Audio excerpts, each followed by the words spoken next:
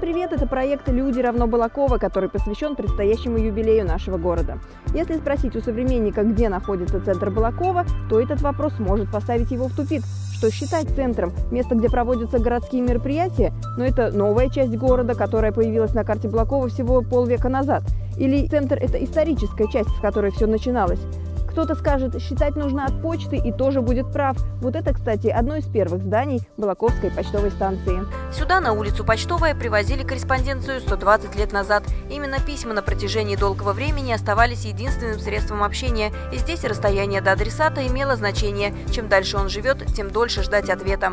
Нулевой километр в каждом населенном пункте находился там, где почта. В Балакове это была улица Почтовая. Именно там стоял вот такой вот столб. Первым почтмейстером Балакова был Николай Макаров, который возглавлял почту 10 лет, с 1901 по 1911 годы. В начале 20 века это была очень уважаемая профессия. Даже объявляли конкурс, чтобы выбрать самого подходящего кандидата. Вот это его рабочее место, за которым я сижу. Вот это истинно его стол. Вот это вся его атрибутика. Вот это вот вся. Вот видите, здесь свечи стоят, значит, чернильница, значит, с с ручкой, с пером, который, значит, лежал у него. Все письма тогда приходили в уездный город Николаевск за 80 верст от Балакова. Оттуда их везли на тройках, и звонкий колокольчик оповещал жителей, что приехала почта. На Балаковской почтовой станции меняли лошадей, а сами доставщики корреспонденции отдыхали. Стоял самовар, вот такой вот, видите, самовар стоял. Чаем угощали, всех они там отдыхали потом ехали дальше. Особенно выделялись среди балаковских почтальонов представители удивительной семьи Строгановых. Династия почтарей Строгановых работала на Балаковской почте и до революции, и после нее. И даже в годы войны Строгановы не только сражались, но и доставляли письма на поля боя. В годы Великой Отечественной на фронт уходили представители совершенно разных профессий. И Строгановы также отправились на войну, но и там продолжали дело своей жизни.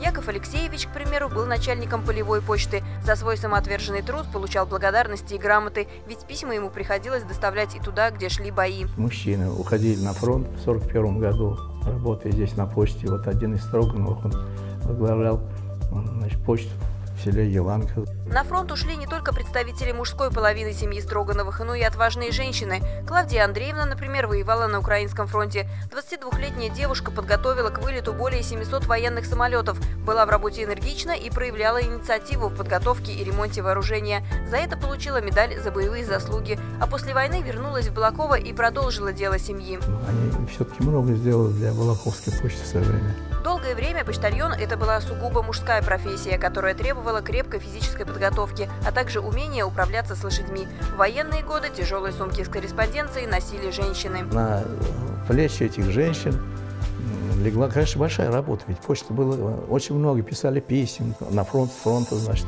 и надо было четко все организовать, доставить. Работали как бы день и ночь. За четыре года войны почтальоны доставили десятки тысяч писем с фронта в Балаково и ближайшие села. Письма шли тогда долго, потому что часто почтовые вагоны попадали в зону боевых действий. Бывший начальник Балаковского почтамта Лев Юрьев до сих пор хранит послание от своего отца. Пришло письмо, он поздравлял с новым 1942 годом.